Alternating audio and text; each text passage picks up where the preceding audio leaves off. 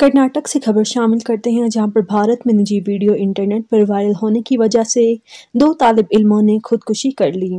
भारतीय मीडिया के मुताबिक अफसोसनाक वाक़ कर्नाटक के इलाके दावनगेरे में पेश आया, जहाँ कॉलेज के दो तालब इल्मों ने अपनी निजी वीडियो इंटरनेट पर वायरल होने के बाद अपनी जिंदगियों का खात्मा कर लिया। कर्नाटक पुलिस के मुताबिक कॉलेज की छत पर दोनों तालब इल्मों के करीबी लम्हात की वीडियो क्लिप 25 जुलाई को रिकॉर्ड हुई, जिससे सोशल मीडिया प्लेटफॉर्म्स पर अपलोड कर दिया गया। वीडियो वायरल होने के बाद तलबा ने जुमा की सुबह अपने घर में अपनी ज़िंदगी का खात्मा कर लिया। लड़की की मौत की इतला मिलते ही लड़के ने भी जुमा की रात को खुदकुशी कर ली।